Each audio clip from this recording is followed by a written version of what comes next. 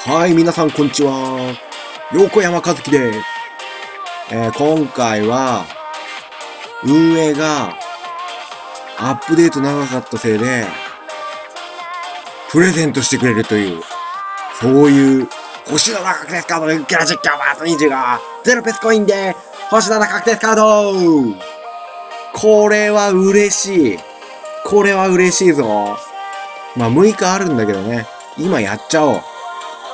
もうね、なんかうちの協会でもかなりいい選手出てる人たくさんいるんで、引きたくなっちゃった。いや、引く予定だったんだけど、ちょっと前倒ししてね。本当は先にね、あの、イングランドスカウト2日だったからさ、残り2日だったから、そっちの方先やりたかったんだけどさ、もうどうしても引きたくなっちゃってね、うーん、朝起きて一番のこの動画撮影。あー、どうかな。うまく喋れるか心配だな。まあいいや、とりあえずね、あのこのゼロペスコインでね、星7の選手が一人でに入る。なんて素晴らしい。なんて素晴らしい。せっかくだったらね、あの今回、星7に上がった選手とか手に入ったらいいなと思ってます。じゃあね、あの、まず、うちの協会で、どんな選手が出たのかっていうのをちょっと見せていきたいと思います。まあ、自分の自慢じゃないんだけどね。えーっとね、えー、どこだ？ここか？突然ですが、星7確定スカウトやったらクリロナ来ました。ずるいずるいです。クリロナ、クリロナ出ていいんじゃない？そろそろ。横山和樹もクリロナそろそろ出していいんじゃない？あー、アグエロ出ましたアグエロかクリロナ。いいね。アグエロ、クリロナ、イグアインも、イグアインは持ってるからまあいいや。イグアインは持ってるけど、まあでも来てもいいけど。ロドリゲーズ、カジニア、ベンゼマ、ベラッティ二人目。まアザール、ちょっと待って、アザールを3人持ってるからな。アザール次来たらちょっと泣くよ、また。アザール、わ、アザール率高くない？ちょっと。こんぐらいか。あー、でも、いいの出てるよね、みんなね。みんないいの出てる。いいなぁ。あ、まあ、そうだな。アザール出たらちょっと、ちょっと同じ選手で、あれかもしんないけど、他だったら何でもいいかな。いや、せっかくだったらさ、星6から上がった選手いいよね。さて、さて、さて、さて、引いちゃいますか？そろそろ。そろそろいっちゃいますよ。いやー、ゼロベスコイあ、そうだ、スネークだったんだ。そうそうそうそう。もうスネークは確定してて。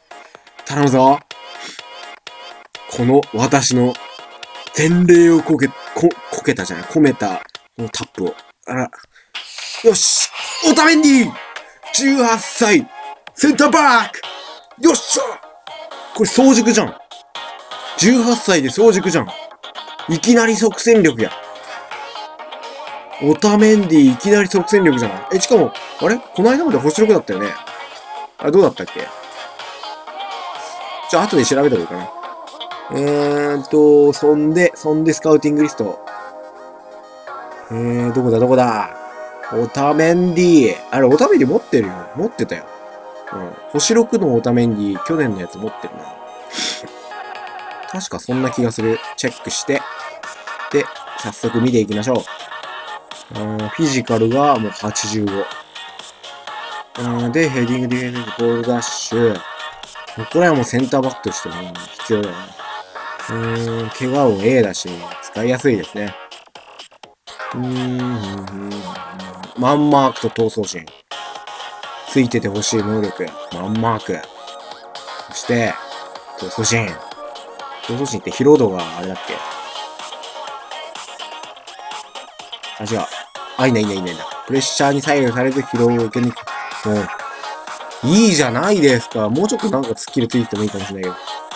いや、でも、いいね。星7オタメンディ18歳。これはね、運営のね、あの、運営さんのね、あの、優しさを感じる。18歳。やったぜ。あ、でさ、あの、次、じゃあ、あの、順番変わっちゃったけど、イングランドに使うとさ、次の動画で出そうかな。あ、そうだ、バルセロナチケットあんた。じゃあ、明日か明後日あたりに、バルセロナチケットを使いつつ、イングランドリーグスカウト、星7確率アップでもやろうかな。掛け10のやつね。いいんじゃない？そんな感じで。バルセロナチケットもワンチャンあるよ。イングランドリーグスカウト、いいね。イングランドスカウト。アタッキングスカウト。アタッ、ディフェンシブスカウト。ここら辺はいいか。ここら辺はいいや。で、あとチケットもね、ちょ、くちょく溜まってる。プラチナチケットが来たあたりで、チケット祭りでもうややろうかな。最近もう全然忙しくて投稿の頻度が少なくなってるから、ちょっとね、奮発してチケットボンってやる。やっちゃってもいいかもしれない。じゃあ、とりあえず今日のこの辺かな。ご視聴ありがとうございました。また見てねバイバーイバイバーイ